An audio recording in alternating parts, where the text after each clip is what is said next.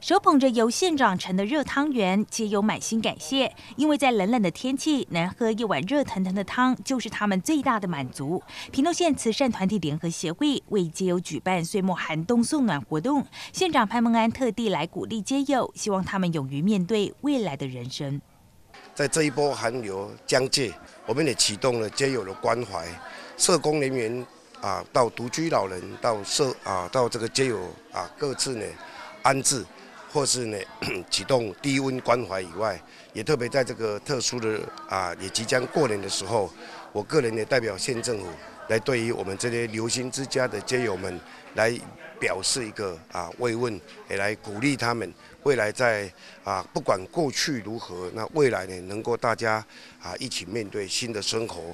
岁末寒冬送暖活动，除提供热食，更赠送街友防寒衣物、暖暖包、睡袋、爱心物资包等物品，让游民街友感受到社会的关怀与温馨。阮介感谢管政府吼，有举办这个，啊，搁有这个贫主人爱心的会，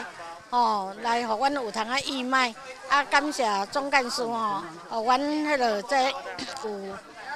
物资啊，有衫裤，互阮穿会当温暖，足感谢。啊，在阮艰苦的当中，会当安尼，阮真正感恩不尽，温情深似海。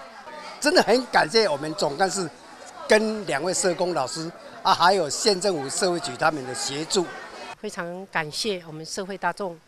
大家呢能够在有钱出钱，有力出力，能够在这样子的一个扶持。那非常感恩我们一个政府单位呢，我们的县长他能够大力的啊，在这一方面呢，非常的支持，希望我们能够把社会的这样子的一个工作做好。